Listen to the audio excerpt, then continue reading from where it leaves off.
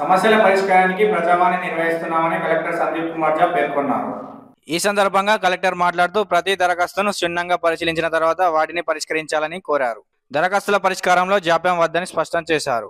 సోమవారం రెవెన్యూ శాఖకు ఇరవై ఏడు జిల్లా పంచాయతీ కార్యాలయానికి నాలుగు ఉపాధి కల్పన శాఖకు మూడు ఎస్సీ కార్పొరేషన్ వ్యవసాయ శాఖ నీటిపారుదల శాఖకు రెండు ఎంపీడీఓ తంగలపల్లి ఎల్లారెడ్డిపేట సర్వే అటవీ శాఖ ఎల్డీఎం మున్సిపల్ సిరిసిల్ల ఎక్సైజ్ శాఖ డిసిఎస్ఓ డిఎస్సిడిఓ సెస్ శాఖలకు ఒకటి చొప్పున దరఖాస్తులు వచ్చాయని తెలిపారు. కార్యక్రమంలో సిరిసిల్ల ఆర్డీఓ రమేష్ ఆయా శాఖల అధికారులు ఉన్నారు.